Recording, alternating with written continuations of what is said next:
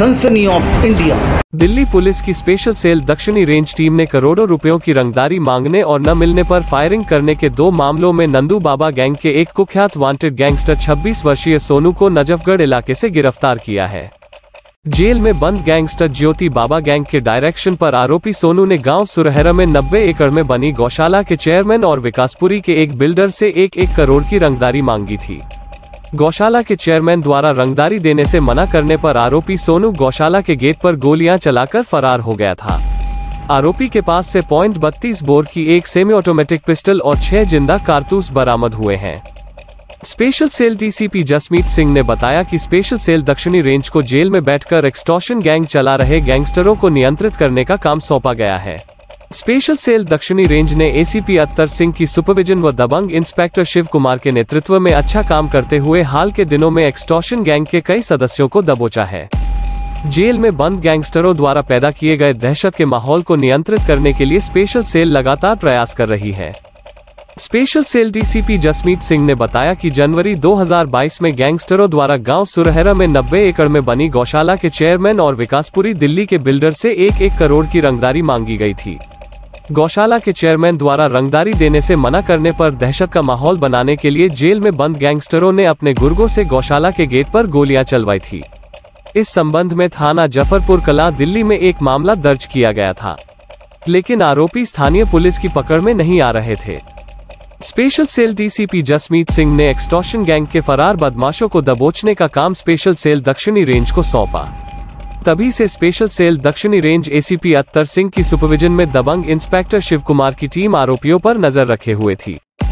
दिनांक 10 फरवरी 2022 को special cell दक्षिणी रेंज के दबंग इंस्पेक्टर शिव कुमार व इंस्पेक्टर जितेंद्र की टीम ने गौशाला के चेयरमैन और विकासपुरी दिल्ली के बिल्डर से एक एक करोड़ की रंगदारी मांगने और गोलियाँ चलाने के आरोप में एक्सटॉर्शन गैंग के एक गैंगस्टर सुमित धनकर को आउटर दिल्ली से दबोच लिया था। आरोपी सुमित धनकर के पास से पॉइंट बत्तीस बोर की एक सेमी ऑटोमेटिक पिस्टल और पाँच ज़िंदा कारतूस बरामद हुए थे। सुमित धनकर की गिरफ्तारी से वारदात में नंदू बाबा गैंग के एक कुख्यात वांटेड गैंगस्टर सोनू का भी नाम आया था। इंस्पेक्टर शिव कुमार ने वांटेड सोनू को दबोचने के लिए मुखबिरों का जाल बिछा दिया। इंस्पेक्टर शिव कुमार को नजफगढ़ इलाके में वांटेड सोनू की एक्टिविटी के बारे में पता चला। इंस्पेक्टर शिव कुमार ने स्पेशल सेल दक्षिणी रेंज एसीपी अत्तर सिंह के साथ इन्फॉर्मेशन शेयर की। स्पेशल सेल दक्षिणी रेंज एसीपी अत्तर सिंह ने इन्फॉर्मेशन से स्पेशल सेल के वरिष्ठ अधिकारियों को अवगत कराया। इन्फॉर्मेशन मिलते ही वांटेड को दबोचने के लिए special cell DCP Jasmeet Singh ने स्पेशल सेल दक्षिणी रेंज एसीपी अत्तर सिंह की सुपरविजन और स्पेशल सेल दक्षिणी रेंज के दबंग इंस्पेक्टर शिव कुमार व इंस्पेक्टर करमवीर सिंह के नेतृत्व में SI Sumit Anil Rajesh Sharma ASI Ravinder Saroha Gurvinder Sanjeev Sachin Kaushik head constable Rohit Dangi Mohit Panwar Rohit Panwar Neeraj Pankaj Sharma Yashpal Ravinder constable Jitendra और कोपल की एक team का गठन किया।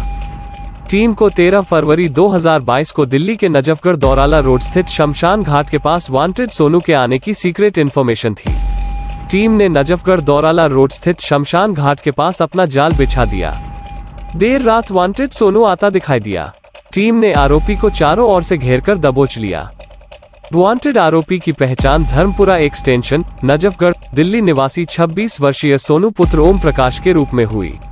आरोपी के पास से पॉइंट बत्तीस बोर की एक सेमी ऑटोमेटिक पिस्टल और छह ज़िंदा कारतूस बरामद हुए हैं।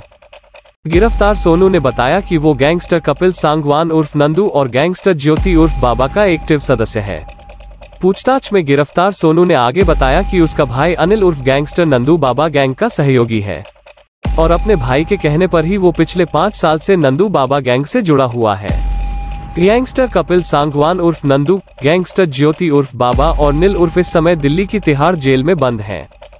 जेल में बंद गैंगस्टर ज्योति उर्फ़ के आदेश पर सोनू गैंग के अन्य सदस्यों को आर्थिक मदद, सिम कार्ड एवं मोबाइल हैंडसेट की व्यवस्था करने के साथ गैंग के सदस्यों के बीच संदेश पहुँचाने का कार्य करता रहा है गिरफ़्तार सोनू ने आगे बताया कि गैंगस्टर ज्योति बाबा के डायरेक्शंस पर उसने सुमित धनखड़ और गैंग के अन्य सदस्यों के साथ मिलकर दिल्ली के पैसे वाले लोगों से धन उगाही की योजना बनाई थी टारगेट को धमकाने के लिए जेल में बंद गैंगस्टर ज्योति बाबा ने दो अंतर्राष्ट्रीय नंबरों की व्यवस्था कराई थी ताकि कॉल करने वाले की पहचान न हो सके।